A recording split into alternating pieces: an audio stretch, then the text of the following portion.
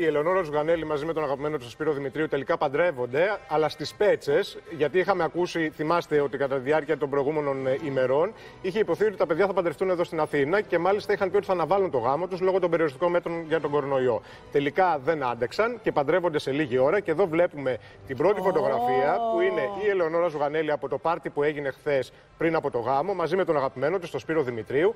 Είναι από χθες, φαίνεται πόσο αγαπημένη είναι. Αυτή την ώρα και εδώ βλέπουμε μια άλλη φωτογραφία όπου είναι η Ελεονόρα Ζουγανέλη μαζί με τους τέσσερις κουμπάρους. Είναι τέσσερις κουμπάροι στο γάμο. Δίπλα της είναι ο Απόστολος ο Λίτρα, ο γνωστός ποινικολόγος, θα τον θυμάστε που τον γνωρίσαμε και πολύ καλύτερα μέσα από την υπόθεση με το Βιτριόλι.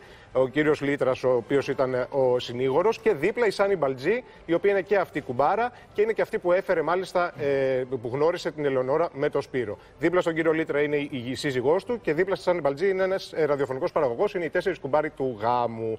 Λοιπόν, αυτή την ώρα από ό,τι ξέρω, μεσημέρι θα γίνει ο γάμος. Βρίσκονται όλοι οι πατμών. Είναι πολύ λίγος ο κόσμος που καταλαβαίνετε όπως, ε, που έχουν πάει στις πέτσες για να παρευρεθούν στο γάμο. Εκεί βρίσκεται και ο Γιάννης Γουανέλης, φυσικά και η Σιδώρα Σιδέρη, η μητέρα της ε, Λεωνόρας.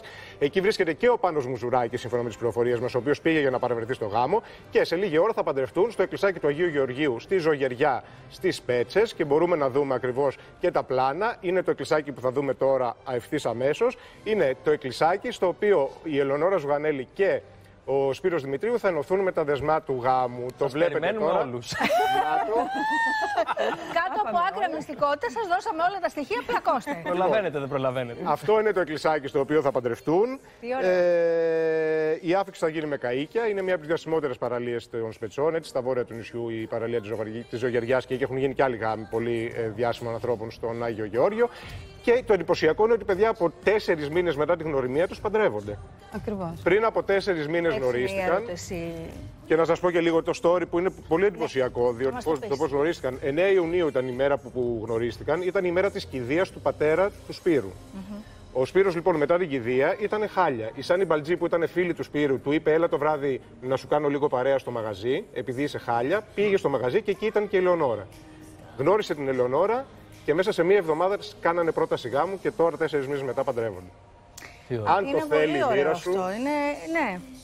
Είναι, καμιά φορά το σύμπαν, ξέρεις, κάτι σου παίρνει, κάτι σου δίνει. Δηλαδή, μια απώλεια φέρνει ένα δώρο. Συμβαίνει συχνά αυτό. Να τους ευχηθούμε να είναι ευτυχισμένοι, να τους ευχηθούμε τα καλύτερα. Εμείς δεν ψηλιαστήκαμε κάτι παρά το γεγονός ότι πρέπει να σας εξομολογηθώ και να μοιραστώ μαζί σας ότι τον είχαμε καλεσμένο το Γιάννη Ζουγανέλη σήμερα ο οποίος τελευταία στιγμή μας ακύρωσε τη, την ε, σημερινή του εμφάνιση στο καλύτερα με δικαιολογίες τύπου κάτι μου έτυχε.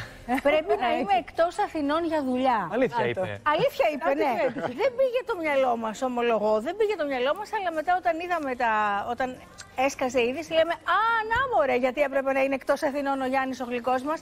Να σου ζήσει, Γιάννη μου, και η κόρη να σας ζήσουν τα παιδιά. Προσπαθούν να το κάνουν έτσι, τον κάνουν το γάμο υπό άκρα μυστικότητα πριν, μέχρι αυτή τη στιγμή, γιατί ε, λόγω κορονοϊού δεν μπορούν να είναι πολλοί κόσμοι εκεί και προσπαθούν να προστατεύσουν και τους εαυτούς τους και γενικότερα να τηρήσουν και τα μέτρα. Γι' αυτό και έγινε όλο αυτό. Μέχρι 20 άτομα νομίζω επιτρέπεται σε αυτή τη φάση. Οπότε πραγματικά ε, πρέπει ναι, να. Ναι, και το νηφικό θα είναι της Ήλιας Κρυθαριώτη. Αυτό είναι το. Όχι, δεν είναι αυτό. Αυτό, είναι το φόρμα του πάρτι. Αλλά είναι και αυτό πολύ ωραίο.